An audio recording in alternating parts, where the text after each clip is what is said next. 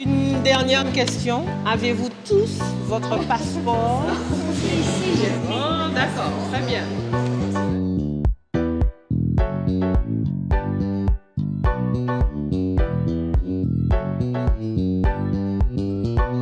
Je suis stagiaire en couture modéliste.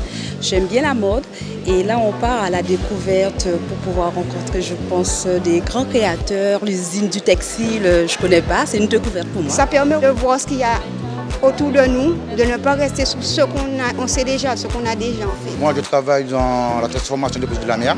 Je vais là-bas pour développer mon espagnol, pour être en immersion et pour développer mon activité.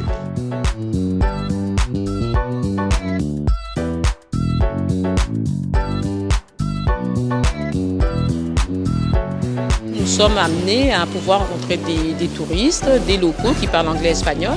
Et c'est vrai que euh, l'offre d'emploi ne, va pas simplement se limiter à la Guadeloupe, mais il faut aussi donner d'autres possibilités à nos stagiaires de pouvoir aller voir ce qui se passe ailleurs et pourquoi pas commercer avec des, euh, entreprises de la Caraïbe et pourquoi pas travailler également dans la Caraïbe. C'est vraiment ouvrir une possibilité d'intégration au niveau de l'emploi à d'autres îles et d'autres pays de la Caraïbe également.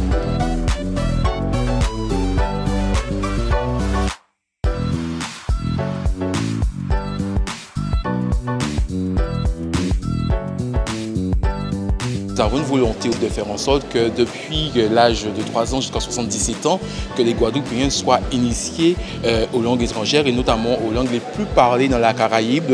Donc en fait, la région, en tant que euh, chef de file de la formation professionnelle, a intégré et a estimé qu'il était important de pouvoir faire vivre la mobilité au sein de la Caraïbe, effectivement, dans les centres de formation. Vous avez euh, un groupe de stagiaires, essentiellement de couturiers, qui partent parce que en fait, c'est la semaine de la mode au Colombie actuellement. Et ce genre d'action est nécessaire depuis justement que la Guadeloupe est rentrée dans l'OSEO. Ça permet effectivement de renforcer euh, cette coopération également.